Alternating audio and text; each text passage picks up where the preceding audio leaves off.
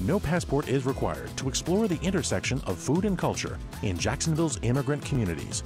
Join WJCT for No Passport Required in Jacksonville, an engaging community discussion on Tuesday, February 11th. The event is free, but space is limited. Visit wjct.org/events to reserve your spot today.